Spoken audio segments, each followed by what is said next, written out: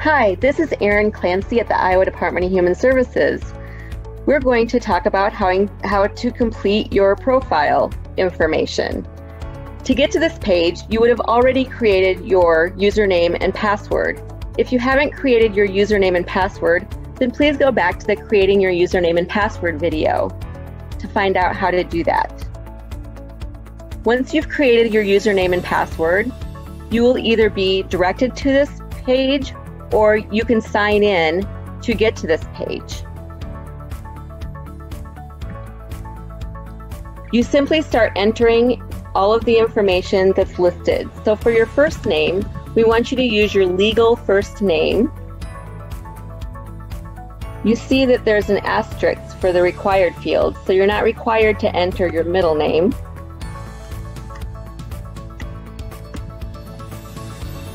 If you have a hyphen in your legal first name, you can put that in as well. For your birth date, you can either enter two digits for the month, two digits for the day, and four digits for the year, or you can select the date and then change the year.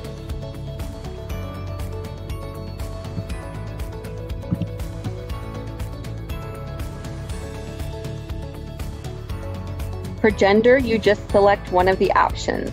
Choose not to respond is an option.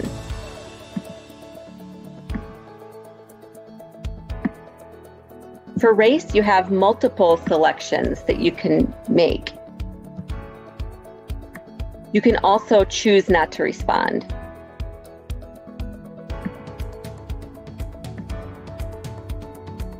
For ethnicity, this is a single select, but you can also choose not to respond. For education level, we would like you to enter your highest level of education that you've achieved to date. So if your highest level of education is a high school diploma, then you can enter that. These are in alphabetical order, so if you did not complete high school, you can enter that.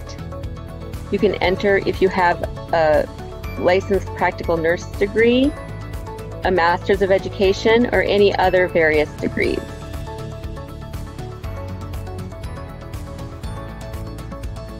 Your primary language is a single select because we want you to select the language that you're most comfortable with.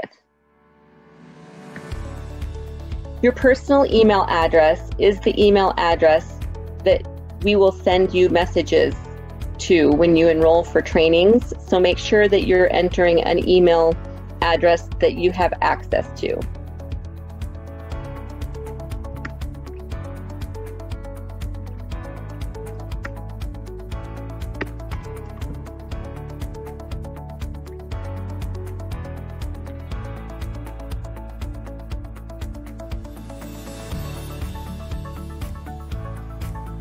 Your work email address is your work email address that you can change over time.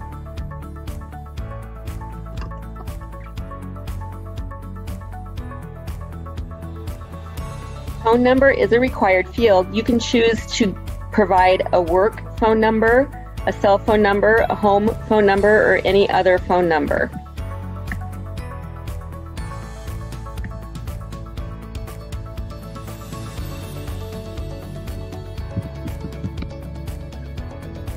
You can add multiple phone numbers by clicking the Add button.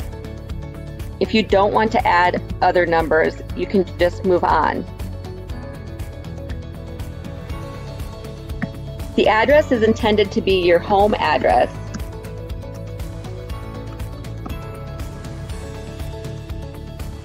We ask for the county. Sometimes we have funding opportunities that are selected by county, so we always ask for the county. ECI areas commonly use that, so that's why that field is there. People have asked why we asked for the county, and that's why, even though it's not part of your regular address.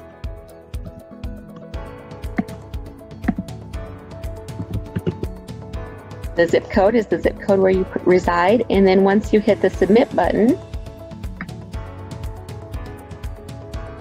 you've successfully saved your profile. Now other people will be able to find you in the registry when they search for profile. Um, other people meaning like child care resource and referral to help you. Um, this isn't publicly displayed at all. It's just uh, information that will be available for people to help you enroll for trainings. After you've successfully finished your profile, the screen will lead you on to link to a role. Thank you for watching Completing a Profile.